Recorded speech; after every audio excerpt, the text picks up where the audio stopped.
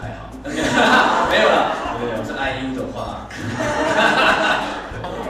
我很想见到那个黄正明，对我觉得他是一个我很喜欢的韩国演员。那金钟战袍准备好？呃，金钟战袍还没，对，还没定妆。造型师想要我穿什么，你就买。我就选啊，几个。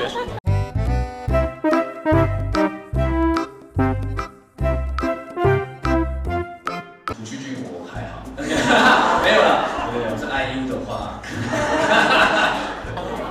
我很想见到那个黄正明，对我觉得他是一个我很喜欢的韩国演员，然后也是影帝级的演员，对，呃，也也不不不奢望可以有一些交流啊，就能合个照我就觉得很开心。我我是蛮想去的啊、不过就是我自己觉得我需要有更多时间在准备下一个工作上。面。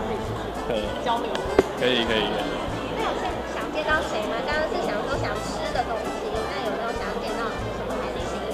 我比较想去海边走走，哎，就去釜山海边走走，这样就很开心了。那金钟战袍准备好了吗？呃，金钟战袍还没，对，还没定妆，大概挑一下类型。也还不知道，就看造型师想要我穿什么，你就买。我就选哪，几个哪哪几个选项我就这样选。对那金钟的入围就更是因为小美之前的状态嘛，所以她的入围我真的是我是立刻喷泪的。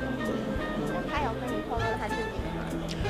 小美就是我就是超佩服这个小孩子，我觉得她是不管发生了什么事情，她都秉持着沉默。突然说她好像要到中国拍片，有签约经纪公司，然后有被引起一些讨论。经纪人对我来说我是很好的，但对他来说我不知道，我也不能代表他，我不能代表他回答。听闻这个消息，完全没有哎、没有我你们刚刚讲我才知道，台湾的经纪人中国一心娱乐。哦，这个可能我要待会传讯息跟他聊一下吧。